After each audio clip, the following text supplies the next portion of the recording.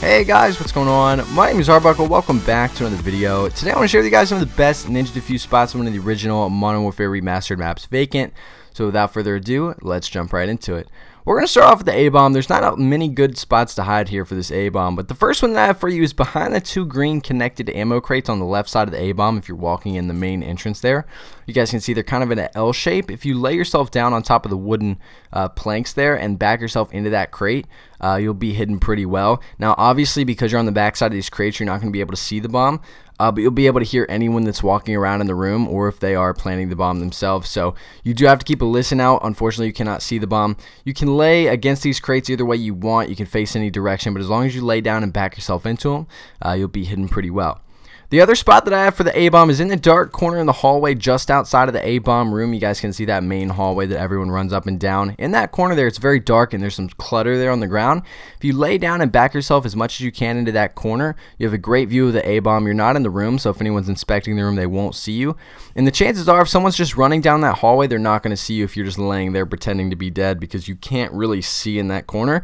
Uh, so if you lay really still and you just lay there, you got a great view of the bomb, and uh, you should be able to get a pretty decent ninja Let's head over to the B bomb. The first spot is on top of the boxes in the hallway outside of the bomb room. As you guys can see, if you jump up on all of that stuff, there's like three boxes against the wall. You can actually lay down and hide your entire body inside of those boxes.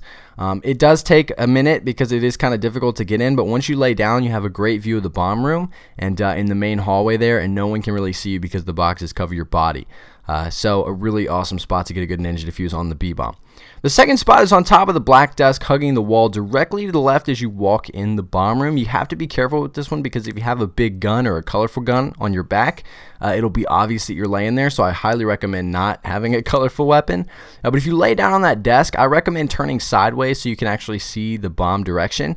Um, you're hidden really well just because of the little uh, wall that's there against the, the desk that's sticking up, so it'll help block your body.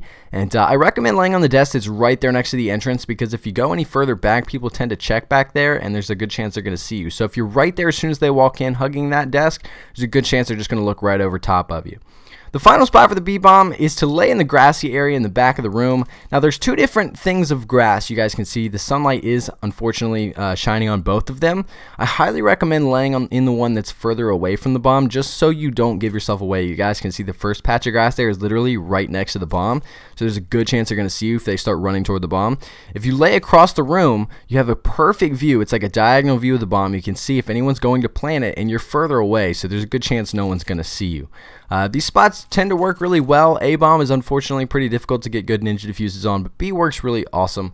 Uh, but anyway, guys, I hope you guys did enjoy the video. Make sure to subscribe if you haven't already, and I'll see all you guys in the next video.